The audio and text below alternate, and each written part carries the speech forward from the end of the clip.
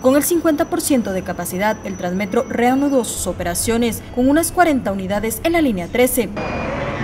Los policías municipales ahora son también los encargados de velar los protocolos para ingresar a la unidad, donde se han implementado equipos de medición de temperatura y dispensores de gel automatizados, además del uso obligatorio de la mascarilla. Los autobuses articulados que cubren la línea 13 recorrerán las zonas 1, 4, 9, 13 y 14 de la ciudad capital. Las unidades llevan señalización de los asientos para que el usuario se entere cuál puede utilizar y así guardar el distanciamiento social. Para algunos de sus usuarios, el miedo de contagiarse con continúa, pero también les da un alivio a sus bolsillos después de cuatro meses de estar cerrado el transporte público. En cuanto sea necesario lo voy a utilizar y el sistema de, protección de seguridad está, por el momento está accesible porque no hay mayor afluencia todavía de, personas. Y gracias a Dios pues tenemos ya nuevamente esto porque sí, no, no, habíamos podido movilizarnos mucho. Pero sí da un poquito de miedo porque hoy todo el mundo puede ser sospechoso, ¿verdad?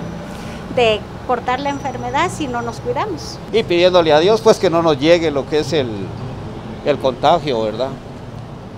Sí da pena porque lamentablemente pues se ha visto que en las noticias que a nivel mundial pues son miles de personas, cientos de miles las que han muerto, ¿verdad? Por este virus. Así es de que en manos de Dios estamos y nosotros cuidémonos. El servicio se realizará con los protocolos sanitarios que se establecieron desde el Ministerio de Salud, manteniendo el precio también de un quexal por pasajero y circulará en el horario de 5 de la mañana a 8 de la noche. La línea 12 se activará el 5 de agosto y la línea 7 el 10. Con imágenes de Miriam Figueroa, reportó para Noticiero Guatevisión Andrea Domínguez.